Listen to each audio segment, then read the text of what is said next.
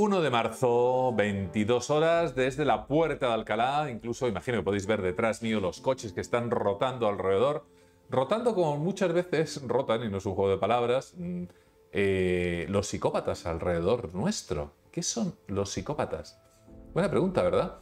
Yo creo que gran parte de las veces creemos que los psicópatas son personas propias, es verdad, del cine de Hollywood, bueno, y también no solamente del cine de Hollywood, sino de nuestra vida real. Eh, no todos son criminales, de hecho es al contrario, fijaros qué curioso. La menor parte de esos psicópatas son justamente o se han dedicado al crimen, muy poquitos. Y os lo dice un psiquiatra forense eh, que ha intervenido en juicios como el de Breton, el de Patrick Nogueira, sino de Pioz, o que, por ejemplo, estoy interviniendo ahora mismo en otros dos, eh, donde ha habido asesinatos múltiples, y en los que la psicopatía, en ocasiones, o la psicosis, que es esa ruptura con la realidad en otras, pues tiene un peso importante. Pero hoy no nos vamos a ir por ese lado tan dramático, prefiero dramático, sanguinoliento, en el tema forense de las películas. Vamos a ir por esos otros psicópatas que quizá están alrededor nuestro. Quizá incluso pueden estar sentados al lado nuestro. Y no lo digo por Joan Miquel, justamente que le veo sonreír aquí a pocos centímetros de donde me encuentro. Vamos a tener a Iñaki Piñuel. Eh, lo vamos a presentar dentro de unos momentos, pero os adelanto que vamos a hablar, entre otras cosas, por ejemplo, de esta fantástica edición de Familia Cero. Pero Iñaki Piñuel, que es, un es doctor en psicología y además tiene un MBA por el Instituto de Empresa en Madrid, también tiene otros libros como Amor Cero o, por ejemplo, Las cinco trampas del amor. No es que nos dediquemos para nada a vender libros, de hecho, en absoluto, pero nos pareció tremendamente interesante este tema. Porque ¿cuántas veces hemos pensado, ¿no será nuestra pareja un o una psicópata? ¿Ese jefe o esa jefa que tenemos no será también una psicópata? Es decir, alrededor nuestro ¿Cuántos psicópatas tenemos? ¿Cómo podemos identificarlo? Incluso, me atrevería a decir, aunque lo confirmaremos con el doctor Iñaki Piñuel, ¿y si reconocemos que somos nosotros mismos unos psicópatas? ¿Cómo podemos saberlo? ¿Tenemos solución? ¿Tienen solución aquellos que nos rodean? Yo creo que tenemos muchísimas interrogantes realmente importantes, ¿no? Ah, ¿Qué es lo que es una familia cero? Nos lo va a explicar también Iñaki Piñuel. Y además me ha parecido muy interesante este libro, me lo he, devorado en poquísimas horas, eh, en la que nos aporta un montón de claves, y además claves del día a día, ¿eh? con, con un aspecto también terapéutico importante, como el silencio y la reflexión para tu recuperación. ¿Cómo sucede o cómo se vuelve un niño un psicópata, la violación del alma. Qué bonito, me ha encantado Iñaki Piñuel cuando habla justamente de cómo se generan o cómo se generan eh, en sociedad, en la familia, ¿no? Cómo somos capaces en un momento dado de tornar ese alma, esa psique. Recuerdo que psique justamente es, eh, eh, su raíz es griega, ¿no? Del alma. Vamos a irlo viendo pero, pero bueno, tenemos a Joan Miquel aquí, no vamos a alargarlo más, queremos entrar en faena cuanto antes. ¿Qué tal, Joan Miquel? Bien, estaba haciendo un directo en Instagram para que la gente vea cómo entramos en el programa. No sé con qué mano ya, desde luego. Bueno, estaba yo aquí, en el Instagram, digo, voy a hacer un directo de los primeros segundos del programa antes de entrar. Muy bien, muy bien. Pues mira, tenemos gente esta noche desde Burgos, desde Marsella, desde Granada. Buen jabón. Y hay algunos, fíjate, ya que apuntan, apuntan, mi ex era un narcisista, era tal. Vamos a ver la diferencia entre, por ejemplo, o qué, qué papel tiene el narcisismo en la psicopatía, ¿no? ¿Y hasta qué punto? ¿Qué es lo que podemos hacer? Bueno, lo del gobierno que muchos dicen, están constantemente diciendo, ¿no? Pero ya os vais a llevar una sorpresa con eso seguramente. ¿eh? Ya veremos cuando hablemos con, con Iñaki. No es fácil quizá tener tanto éxito muchas veces y llevarse por delante a muchísima gente, pero sea del partido que sea. ¿eh? Llevárselos por delante si eres buena persona, si tienes empatía, si tienes sensibilidad, me temo que, fíjate, luego contaré una anécdota muy, muy, bueno, tampoco tan, tan, tan divertida, que luego si no hay decepciones, ¿no? Pero con Robert Ressler, que fue justamente, le conocí, estuve haciendo un trabajo con él. Eh, Robert Ressler fue el primer, bueno, fue un criminólogo que acuñó el término asesino en serie. Fue un agente del FBI en el cual comencé a hacer una serie de cuestiones en Ciudad, en Ciudad Juárez, en México. Luego os contaré una historia, porque era un tipo muy divertido, experto en psicópatas también. Y bueno, alguna anécdota que se os va a quedar seguramente para el resto de vuestra vida con aplicación práctica. Bueno, yo Miguel, ¿qué pasa? Pues yo me pregunto, yo fíjate, Sí. hoy me levanté preguntándome a ¿El mí qué? mismo, ¿Sí? ¿seré un psicópata? ¿Por qué? ¿A qué viene eso, esa pregunta? Sí, digo, vamos a hacer con el pie psicopático, ¿no? Y Digo, para ver si puedo hablar con conocimiento de causa en el programa y puedo aportar mi experiencia como psicópata en serie o cosas así. Bueno, todos, la verdad que en la personalidad, ninguno tenemos una personalidad habitualmente pura en el sentido de una tendencia. Muchas veces se va cambiando. Sí. Hay acciones en ocasiones que son propias de las psicopatías, en otras ocasiones propias de, de otro tipo de perfil, ¿no? No, no- Aunque siempre, evidentemente, como dicen los sudamericanos, quien nace chicharra muere cantando, pero quien Claro. nace psicópata habitualmente suele seguir. Pero vamos a ver también la diferencia, fíjate, se lo eh, preguntaremos a Iñaki, entre sociópata, psicópata, una serie de cositas que son súper interesantes y que además los que tengáis hijos, los que tengáis pareja, los que tengáis lo que sea alrededor vuestro, que es raro que alguien viva absolutamente en soledad, sin siquiera contacto con no solamente la familia, sino gente del trabajo, etcétera, pues una serie de consejos, yo creo, súper, súper interesantes. Bueno, me voy a remangar, que cuando ya me remango es que entramos en la otra etapa del, del este. Venga, Cálmate, cálmate, porque yo, yo era una persona normal hasta que empecé a ver al innombrable en la televisión. Yo creo que me salió una vena psicópata ahí. Dije yo, mira, paso la noche en el calabozo. Pero quiero saludar especialmente al equipo, especialmente a Lourdes Martínez. Quiero saludar a Olga Rayó, a Marta Bima, a Piluca, a Tatiana, es decir, el grupo que está en la retaguardia que hace posible que estos programas salgan adelante. Porque parece sencillito, pero también tiene su trabajito. Después de estar todo el día nosotros trabajando, pues aquí estamos, al pie de cañón, para continuar con vosotros. Eh, enviar un caluroso, no sé si lo haría un psicópata, pero yo envío un caluroso abrazo a Australia, a Canadá, a los Emiratos Árabes, a Portugal y a Andorra, que nos escriben. Eh, podium, quiero destacar a las, a las tres personas los primeros guardianes que eh, se han conectado en el directo, como cada noche, siempre un homenaje a ellos. Número uno, Sid Buffer, que recupera el liderato, seguido de el, el- el- no sé cómo van, de Luis Bermejo, ¿vale? Y Antonio González en el número 3. Gracias por estar allí. Siguiente escena. Vamos al momento Twitter de la noche. Ya sabéis, ese tweet que esta noche va a ser muy psicópata todo. Estás rodeado de psicópatas. Así es como se llama el directo de esta noche. En directo y pone la dirección del programa. ¿Y qué más? Vosotros simplemente lo tenéis que retuitear. Escribir aquí que Carlitos no va a quitar ojo a este tuit. Ahí lo estoy tuiteando yo. Ya sabéis cómo funciona esto. Olga lo pone fijo y vosotros a darle vida, a darle mambo a esta noche. Eh, dicho lo cual, eh, yo creo que yo por mi parte, José Miguel, yo ya he ido, ya he estado, ya me he descargado. Quiero eh, dar la bienvenida. Es una pregunta que me gustaría hacerte, José Miguel. Dime. ¿Alguien puede tener una perrita inocente que sea psicópata? ¿Una perra? La perrita, un perrito psicópata. Yo pregunto. Hombre, para eh, perritos psicópatas que sepamos, no, no existen. No existe. Claro, Bueno, ¿no? que nos lo diga Carlitos. Los Carlitos. animalitos. Ah, ¿por, ir por Carlitos o por la perrita de Carlitos? Bueno, pues por la per- Lolita. Lolita a veces me mira con caras un poco así raras. No creo que sea, no creo que sea psicópata, Angelito. Con lo buena Hombre, que es. Sobre todo cuando Animalitos, quiere comer, ¿tú animalitos psicópatas. que es? Sobre todo cuando quiere comer, súper cariñosa. Ah, cuando quiere comer. Se me Cuando acercan quiere a- comer, ¿no? la- Exacto, exacto. Yo no sé qué tienen los perros con la comida, ¿eh? Eh, al menos eh, mi perrita estaría todo el día comiendo. Porque Lo que tienen es hambre. Bueno, ya, pero tanta hambre. Pero bueno, y mira que es pequeñita, mira, está por ahí detrás, si la veis, está por ahí durmiendo. ¡Ey, ey, ey! Bueno, buenas noches, doctor, y buenas noches, Joan Miguel, y buenas noches a todos los guardianes. Eh, bueno, la noche se presenta de psicópatas. Eh, ¿Cuántos guardianes psicópatas habrá? ¿Eh? Sé. Pues. Estadísticamente bueno, se puede saber, doctor. Estadísticamente, yo, Miguel tenía una serie de cifras, ¿no? Sí, ahora estoy llamando a Iñaki. Si quieres, luego ahora la, ahora la vamos a comentar, ¿vale? Porque además hay grados, etcétera, etcétera. Pero hombre, tu perrita no creo que sea una perrita psicópata, realmente.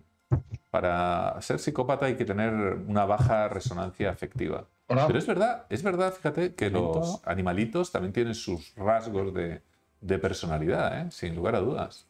Ahora, Escucha, definirlo como psicópata, más bien que como rasgos ¿Perdón? ¿Sí? Ahora, ¿Me escuchas? Es que no, se me ha quedado todo bloqueado y no sé si. si sí, sí, te solo, escucho, te escucho. Te escucho, te escucho un poco bajito. qué tal. Bueno, pues mira que estoy hablando dentro de mi, de mi potencia vocal. Estoy hablando fuerte, ¿eh? Pero bueno, tampoco voy a gritar, doctor. Bueno, vamos a recordar a todos los que tienen que hacer como cada noche.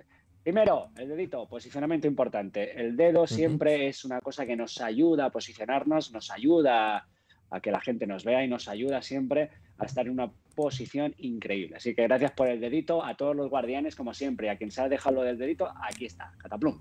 Luego, el tema de suscripción. Es importante la suscripción al canal de la reunión secreta de YouTube. ¿Por qué? Porque, bueno, es importante esa suscripción y esa notificación para que os lleguen todas las cositas que vamos haciendo durante la semana, que son muchas y serán muchas más gracias a los guardianes mecenas. Así que un saludo para todos ellos. Eso por un lado. Segundo, eh, acordaros que en el hashtag de la reunión secreta podéis preguntar muchísimas cosas que queráis al doctor Iñaki Piñuel en torno a los psicópatas, que de hecho, doctor, no sé si este tema eh, causa mucho interés, porque no estamos recibiendo preguntas ya de hace mucho rato. La gente quiere saber si, ¿Sabes lo o que si pasa? estuvo Que casado con un claro, psicópata. si, afecta ¿sabes? la vida, afecta la vida personal, eh, Carlos. Afecta la vida personal. Decir, yo creo que todos, todos hemos conocido a alguien cercano que es padece una psicopatía. Bueno, padece, el término padece quizás sea excesivo, ¿no? Porque a su vez parece que estamos apuntando a una enfermedad mental. Y ya veréis que de enfermedad mental poco tiene, ¿no? Ahora, lo- ahora, ahora, ahora lo veremos, ahora lo veremos. No Creo sé, que tenemos, sí ¿no? Carlos, yo, Ay, ya, creo que ya, tenemos ya. al doctor Iñaki Piñuel ya por ahí. ¿Que ¿Ya lo tenemos? tenemos? Sí, Bueno, ¿no? Pues nada, eh, ¿Te parece? en el hashtag de la reunión secreta. Empezamos, vamos a por ello, doctor. Venga, vamos a por ello. Iñaki, doctor Iñaki Piñuel, Buenas noches. ¿qué tal? Muy buenas noches. Eh, te Encantado voy de a estar con presentar. vosotros. Y muchas gracias. Te voy a presentar, aunque gran parte, por no decir casi todo el mundo, evidentemente te conoce, no solamente en España, sino también fuera de España, pero por si acaso, y para quizás ser un poquito más redundante, voy a leer algunas cositas de, bueno, de tu currículum, de tu formación, si no te importa. Iñaki Piñuel es doctor en psicología por la Universidad Complutense de Madrid, eh, tiene un MBA en Instituto de Empresa, también de Madrid, Ah, ha sido durante 25 años psicólogo, eh, psicólogo clínico, psicoterapeuta, coach, consultor, conferenciante. Ha trabajado en el Instituto Nacional de Seguridad Social, Consejo General del Poder Judicial. También ha comparecido en el Senado y en el Parlamento. Y, ahí es donde entramos ya un poquito más en faena, un poquito más en harina, ¿no? Dirige los barómetros Cisneros sobre acoso y violencia psicológica en el trabajo, también violencia escolar en la educación, desde su labor como eh, labor docente como profesor en la Universidad de Alcalá. También tiene el Instituto Iñaki Piñuel, eh, que justamente eh, tiene su página web también, igual que otras webs dedicadas a este tipo de temas, como acosopsicológico.com, acosoescolar.com, y uno muy interesante que además nos lo va a explicar casi con toda seguridad, que es la de Amor Cero. Porque hay una serie de obras que creo son tremendamente interesantes, como la del Amor Cero, las cinco trampas del amor. Luego te lo preguntaré, Iñaki, ¿no? Solo cinco trampas, ¿no crees que son pocas, eh? me parece? Pero bueno, el mobbing, que creo que es tremendamente una cuestión que nos atañe absolutamente a todos, es decir, el mobbing, la- el hermanito pequeño, ¿no? Que es el bullying, evidentemente. Y bueno, también es autor, yo creo que esto es muy importante, del primer test en castellano para detectar al bullying. Eh, el test AVE, AVE, A-V-E, efectivamente, y también creador del método AVE para prevenir el acoso y violencia escolar. Es decir, todo, todo está relacionado con todo, ¿no, Iñaki? Es decir, no son esferas independientes para nada, ¿no? Todo está unido, efectivamente. Buenas noches a todos. Todo tiene una conexión y la conexión pues procede de esas eh, personalidades tóxicas, formas de ser, como los queramos llamar, condición también se dice, que hacen sufrir a tantos seres humanos y que desgraciadamente eh, esas personas están entre nosotros utilizando esas capacidades enormes de las que disponen para hacer daño ya desde la infancia. Ya veremos también esta noche cómo existe la descripción de la psicopatía desde bien temprana edad. Y también pues en otros órdenes, como puede ser el ámbito del trabajo, con el mobbing, el acoso en el trabajo, el acoso psicológico en el trabajo, o acoso moral, algunos dicen, y también desde luego en las relaciones de pareja, en las relaciones familiares.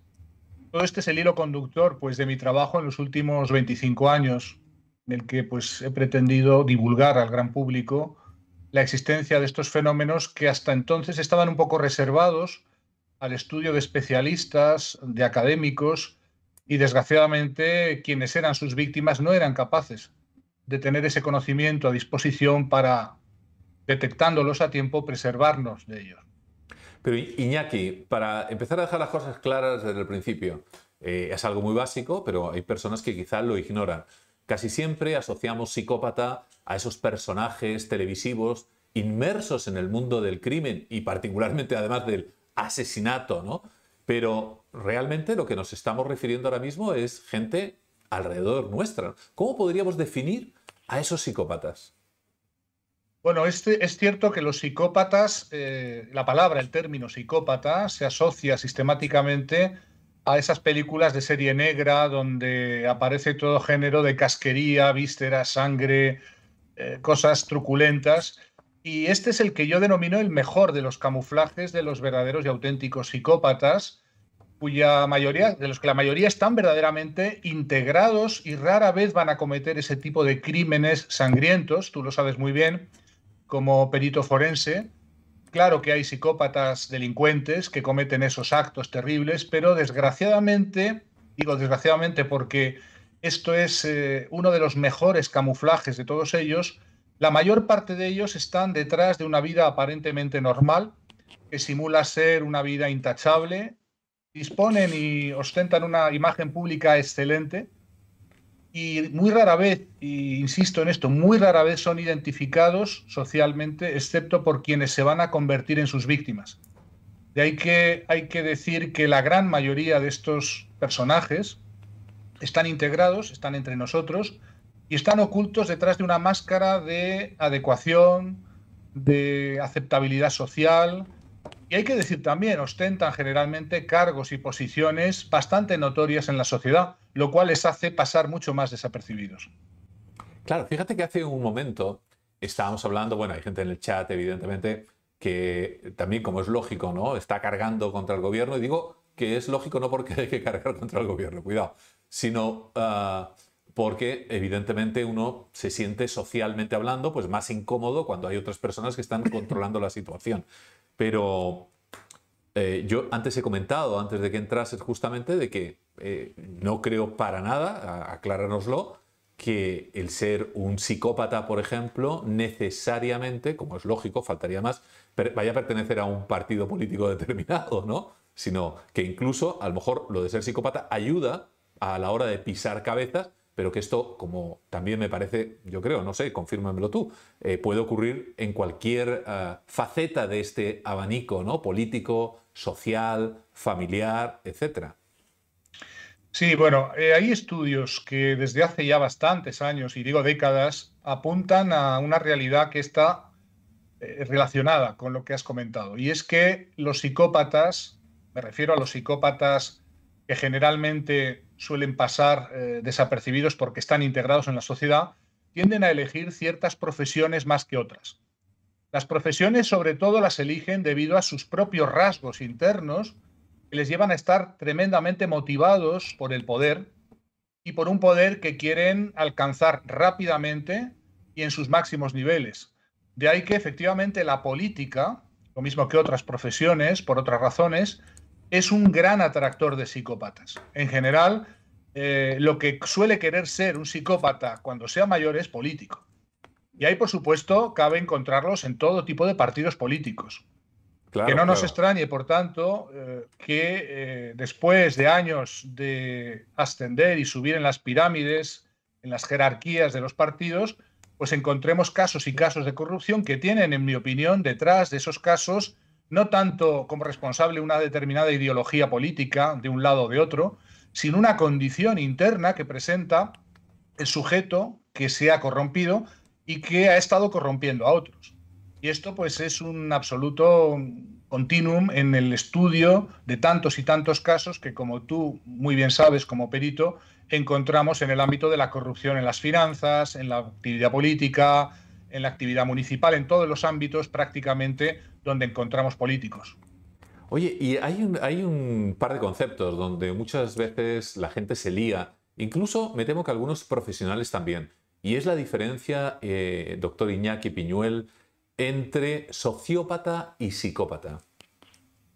Bueno, esta diferencia es terminológica. Eh, yo soy muy, muy partidario de mantener la psicopatía como concepto de fortaleza investigadora y académica y dejar la sociopatía. El término sociópata refiere a comportamientos que socialmente son inaceptables o están fuera de la norma. Y está en la raíz de sociopatos, lo que estaría fuera de la norma social. Y en este sentido, cualquier delincuente, cualquiera que actúa fuera de la norma social convencional, que infringe las leyes, es técnicamente hablando sociópata o comete actos sociopáticos. La diferencia es que a diferencia de cualquier criminal o cualquiera de nosotros que podemos cometer un delito o incluso un crimen sin ser psicópatas, eh, la psicopatía eh, presenta una serie de características internas que afectan al individuo de manera estable. Por tanto, quien las presenta no está cometiendo un acto irregular llevado de una pulsión pasional o de un momento emocional cosa que nos puede ocurrir a cualquiera, cualquier persona normal, sino que estamos hablando de una condición con rasgos de la personalidad estables, que vamos a ver cuáles son esta noche, y que llevan a que esa conducta en el individuo que la presenta es repetitiva, es un patrón, se produce de un modo sistemático a lo largo de toda su vida y esto es lo que les hace peligrosos y veremos también esta noche irrecuperables para la psicología clínica. Y algo, bueno, ya Miquel está diciendo que quiere preguntar también, pero es que eh, para no perder el hilo, porque tiene que ver justo con lo, más o menos con lo que acabas de contestar, eh, también hay mucha gente que se plantea en este tipo de cuestiones eh, si son enfermos. No, esto es un error muy habitual y desgraciadamente un error que afecta a muchas víctimas que creen que sus maltratadores o los que les están destruyendo pues puedan tener algún remedio cuando presentan esta condición el psicópata o la psicopatía es una condición, pero es más bien una variación. Es, yo los denomino una especie humana asterisco, ¿eh? como una mutación, diríamos, pero dentro de la normalidad, porque como muy bien sabes, no son delirantes, no son psicóticos, no son personajes que tienen una alteración significativa de la realidad. No es que desconocen lo que hacen y por tanto se les puede eximir de una responsabilidad penal o moral. Saben lo que hacen, saben que lo que hacen está mal, saben que lo que hacen destruye a las personas a su alrededor, pero aún así avanzan sin miedo, sin compasión, sin empatía y sobre todo esto lo voy a subrayar, sin emociones, es decir, sin ninguna capacidad de removerse internamente por las atrocidades eh, que cometen, ya digo, atrocidades que no son generalmente criminales, que impliquen sangre o delitos eh, muy, muy graves, pero sí una gran destrucción que suele ser una destrucción de guante blanco. Y esta condición interna que presentan los psicópatas es bastante estable una vez adquirida. Veremos que se pueden hacer psicópata, pero también hay condiciones, veremos cuáles, que pueden ir psicopatizando gradualmente a una persona. Pero una vez adquirida no hay vuelta de eso que yo denomino el paso al lado oscuro. Como sigas así, Iñaki, vamos a estar hasta las 3, 4 de la mañana hablando de esto, porque la verdad es un tema totalmente apasionante. ¿eh? Lo que acabas de mencionar, por ejemplo, así de pasada, de condiciones que pueden acrecentar o fomentar, por ejemplo, la psicopatía, me parece uno de los temas fascinantes. Con eso imagino que puedes hacer, bueno, y lo harás, un otro magnífico libro. Eh, Joan Miquel. Buenas noches, doctor Iñaki Piñuel. Buenas noches, Joan. Un placer tenerte aquí, lo sabes. Eh, Has empezado a hablar, yo tengo aquí en Instagram que me empiezan a enviar mensajes privados, mensajes privados, y me he dado cuenta, porque los he leído un poquito por, los que he podido rápidamente, de que muchas personas creen que su pareja es un psicópata o un psicópata o yo qué sé, de manual, no lo sé. Pero mi pregunta es, eh, ¿cuántos psicópatos, psicópatas, digo yo psicópatos, perdona, psicópatas nos rodean? Bueno, el problema de la evaluación de la psicopatía es un problema que todavía no se ha establecido. Ahí tenemos apuntes, ¿verdad? Apuntes que nos hablan de que en la condición de lo que llamamos psicopatía pura o psicópata plena y total, estaríamos hablando de entre el 1 y el 2% de la población. Lo cual, aunque pueda parecer menor, estamos hablando de millones de personas. Eh, entre el 1 y el 2% de la población significa que psicópatas puros, de esas 3.000 personas que todos conocemos en nuestro entorno directo, de las que podemos poner nombres, caras, saber quiénes son, esas 3.000 personas de nuestro entorno inmediato, entre 30 y 60 personas presentan esta condición. Por tanto, eh, cabe pensar que algunas de ellas pues, se conviertan en nuestra pareja, alguno puede ser nuestro padre, nuestro hermano, nuestra madre, nuestro jefe, nuestro compañero de trabajo, y, por supuesto, ignorarlo. Pero hay otros estudios, doctor, y es que... Sigue, por favor. Sí, perdón. Hay otros estudios mucho más eh, recientes que extienden la psicopatía integrada, lo que llamamos la tríada oscura de las personalidades psicopáticas, de Dark Triad, que tú conoces muy bien como forense, y que ¿Podrías, la... Eh, ¿Podrías mencionarlas para las personas que nos están viendo y que no son expertos en este tipo de tema, por favor? Sí, en torno al año 2003-2004, eh, el grupo de psicólogos dirigidos por Paulus, de psicólogos y psiquiatras de la Universidad de la British Columbia, hacen un estudio muy interesante intentando evaluar la dimensión en la población de la psicopatía subclínica, es decir, el número de personajes que sin llegar a ser psicópatas pata negra 100%, presentarían cinco sextas partes, lo que llamaríamos una dimensión subclínica de la psicopatía o lo que llamamos igual psicopatía integrada.